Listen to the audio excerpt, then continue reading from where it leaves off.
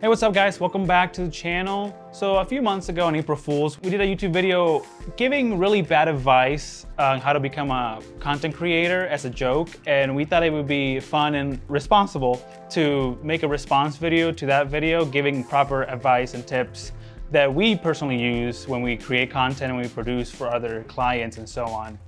So we have the video here. By the way, just in case you check it out first, we're gonna wait. We got the video right here. We're gonna like watch it through and we're gonna like stop after each tip and we're gonna like respond to the what we think is a more appropriate tip than what was said here. And cut! Hey, I'm Dan. If you're looking to be the best filmmaker ever, follow these tips. Boring background? Zoom in to create more depth of field. Does it look good? Uh, yeah. Cool. So for this first tip, uh, we wanna we wanted to give we wanted to do a play on uh, when the background is boring. A good idea is to always zoom in so you can separate the subject from the background a lot better and get a blurred background. But here is but here we just zoomed in without pulling back. I think the effect to actually work properly, you want to pull back the camera and the subject if you can, so you can get even more separation from the background. Yeah, I mean choosing the right focal length really has a big play into this too because um, your situation where you just said with the talent, like you would bring the talent forward and then you would uh, keep the camera where it is, bring the talent forward on a, a, lower focal length. Like let's say we're on like a 24 or 35. So if the talent's closer to the lens, um, we would have that more depth separation versus if we were at like 100 millimeter, we'd have a lot more compression and um, we could really just get even more crazy with the background separation. But um, it really depends on the environment you're in, but that is a good rule of thumb. So if you're really wanting to get that shot to look, have more separation, think in layers. So uh, subject, foreground, background, and then really kind of like dig into your environment and try to maximize the opportunity to get the most depth. If you can take your time and like try different things, as Dan said, like I said, pull the camera and the subject. Maybe if you have a wider lens, pull, just pull the subject closer to the camera. If you can still have a good amount of space and keep them in a frame pretty wide while still blurring out the background. Like there's different ways you can do it. If you are doing an interview shoot, I think two lenses to have in your kit or two focal lengths you really wanna have is something that can get you around a 35 and then something that's a little more compressed like an 85. So I'm a big fan of like full frame sensors. I think 85 is almost like, it's a lot. You don't need to go that far. You can make a 35 look great. But with Super 35 and MFT, sometimes having that 85 millimeter is really what's required to really get the most separation out of your shot. So um, think about that, but those are two focal lengths that um, really do well with interviews. Definitely. All right, let's go to the next tip. Always make sure to interact with every, and I mean every filmmaker coach you see on your socials. Stop scrolling if your video business isn't making a billion dollars a month. Ka-ching! So have you ever gotten any like coaching, filmmaking coaching ads on Instagram? Yeah, not as many as you because I don't engage with them. I had to just see the process. Uh, I, I had to like just engage with one and see. I think was it like five minutes after I engaged one, I got no, a call. It wasn't even that. It was like 20 seconds. I got a call immediately. I was like, ah, crap. yeah, I mean, look, there's nothing wrong with wanting to learn and investing in, in online education. I think it's I think there's a lot of great stuff out there. But if someone is reaching out and they're they're guaranteeing you sales and they're guaranteeing you a way to make money, um, just be wary because it's not always a cut and dry method of how to profit in this industry. I would say while this is obviously an extreme, like we kind of took it to the, the extreme with the billion dollars a month, uh, they do guarantee like if you're not making this or if you're not making that, and they all have these methods. So those are kind of marketing MLM strategies that I personally don't believe in and I try to stay away from. And um, I normally, what I like to do instead is if someone's successful and I'm following a director or producer that I aspire to have clients similar to, or I aspire to have a level of work that's similar to their quality, I'm just gonna reach out. I'm gonna say, hey, big fan of your work. Um, I'd love to jump on a set sometime and be a PA for you. Or if you ever need any help with producing or logistics, or if you ever need extra crew, I make sure I bring that up. Like we all forget we all have specialties and um, you know just highlighting your specialties what stands out. And um, that's personally the best way i've found to learn from others and uh, to get advice about how to grow is just to, to ask. And um, you'd be surprised man most creative directors and producers like if you send them a dm and you're like i love your work.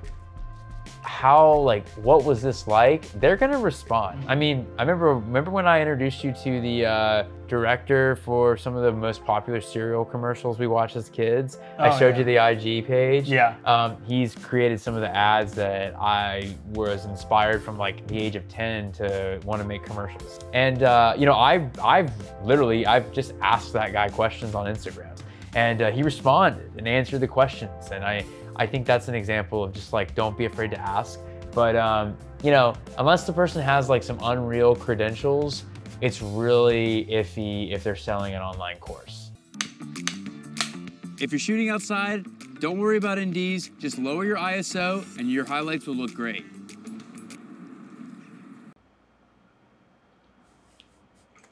oh wow yeah so I'll- yeah, you can you can nerd out on this one. yeah, I mean, there's so many things wrong with that scenario. Um, you know, every camera is different, but most of the modern cinema cameras that are affordable don't have internal NDs. And uh, a lot of new content creators come into the space and they simply adjust their shutter and their ISO when they're outside and they don't think about neutral density filters. And really what a neutral density filter is, is to, to maintain the same uh, cinematic look that you've aspired to have throughout your entire project, even when you go outside where there's a magnitude of light. So maintaining shutter angle, frame rate, those are things that are you want to keep consistent unless the story or the project requires a change. So when we don't have NDs, while I'd obviously rather scroll roll my shutter to the absolute max and lower my ISO if I had no other option, the real solution here is to pack some NDs with you. And um, NDs are not all created equal. So a circular filter, if you're gonna go the circular route with photo lenses, you know, variable NDs are more popular and more common. Unfortunately, variable NDs are gonna have color cast. The color cast isn't always easy to get out in post. Um, we have some that lean more green, we have some that lean more magenta. Um, and then obviously when you close all the way down on it, they sometimes have the X pattern, which is normal for the variable ND. Um, the ultimate way to get true minimal color, if any, alteration is to go with uh, hard stops that would go into your matte box. Yes, that is actually a reason to have a matte box. Um, so we found that most of our commercials, we do rent higher end ND filters and um, the color cast is minimal and it makes a dramatic difference. So if you're wanting to maintain a, um, an open aperture and uh, you're wanting to be outside, multiple stops of ND are required, and um, that's the actual way to expose a shot. Next tip. Always remember the correct terminology for camera movements. Pan, tilt, dolly, in and out, and so on. All right, pan up. Uh, can you pan in a little bit? Can you pan to the right? Nice.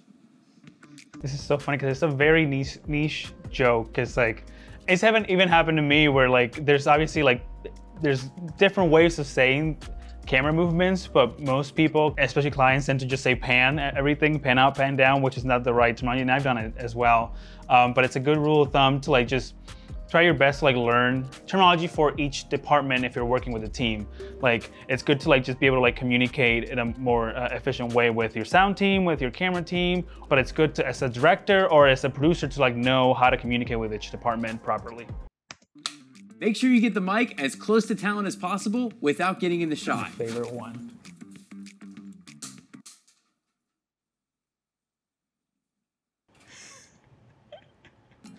Obviously, like this is an extreme uh, uh, to hit the joke, but there's different ways that you can try to hide a mic and keep it as close as possible.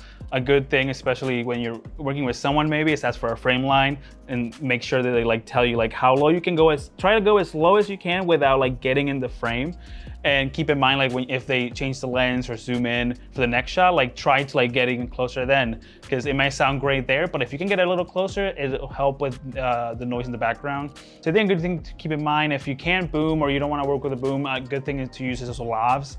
Lavs is just a little cable you attach to your receiver and you can like clip it on a shirt on a jacket on a tie. We also use double-sided tape. Our COS-11D has a little holder for the mic that you just slip on and then you can put a double-sided tape on one side and then just tape it onto the chest of the talent and it just hides it perfectly. And you don't have to worry about the clothing rustling as they're moving. So it's, it's a great way of getting the best audio you can. Yeah, I've really enjoyed using that. I mean, I think just the visibility component is Yeah. just a big thing. I think when you stop seeing a lav in your interviews, you really realize how much nicer it is. And, you know, look, great boom placement doesn't always have to require a, a sound uh, team. Like we have a grip head that holds our boom pole. And um, even when it's just me or it's two of us, we can easily attach the boom pole to the grip head. And uh, instead of bringing a big clunky mic holder, which we've done in the past, like this is a really easy way to, uh, to have boom. And you can choose, you know, you run two channels and you have your boom and you have your lav and whatever sounds the best, um, you know, wins. And that's always been great. And then we decide that in post. This also applies more to like narrative work and high-end commercials or uh, client interviews and documentaries. Because I think like nowadays in YouTube and content creation, people don't mind holding the mic. People don't mind like just clipping on a shirt. I've seen a lot of fitness people just clip it on their hats and just go, and that works great. But yeah, those are actual tips to becoming a better filmmaker, a better content creator. I hope you enjoy them, and we'll see you in the next one. Don't forget to like and subscribe right now.